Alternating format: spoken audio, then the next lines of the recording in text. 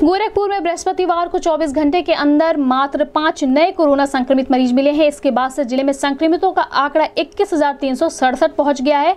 इनमें 20,908 लोग ठीक हो चुके हैं जबकि मौत की संख्या तीन हो गई है।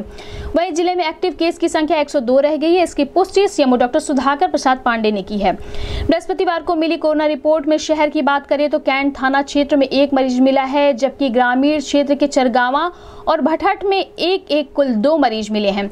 इसके साथ ही अन्य थाना क्षेत्रों में दो अन्य मरीज़ भी मिले हैं।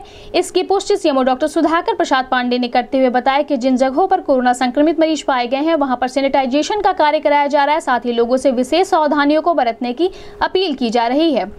दो गज की दूरी, मास्क है ज़रूरी, सामाजिक दूरी का करे पालन, अपने और अपने परिवार को बनाए स्वस्थ और सुरक्षित।